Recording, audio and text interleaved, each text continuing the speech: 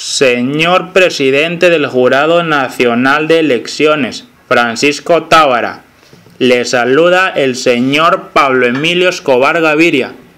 Nos acabamos de enterar que en la ciudad de Lima se está llevando a cabo una revocatoria en contra de la señora alcaldesa Susana Villarán, a cargo de los mafiosos y siniestrosos Marco Turbio y el ex alcalde de dicha ciudad más conocido como El Mudo.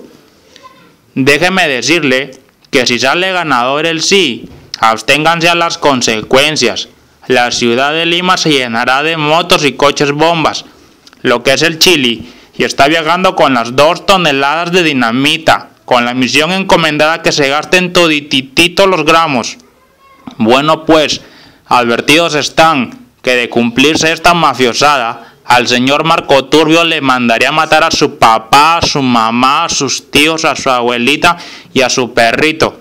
Y si su abuelita está muerta, se la desenterramos, se la revivimos, se la matamos y se la volvemos a enterrar. Y si no tiene perrito, se lo compramos, se lo matamos y se lo enterramos. Así que hágale, quedamos claros.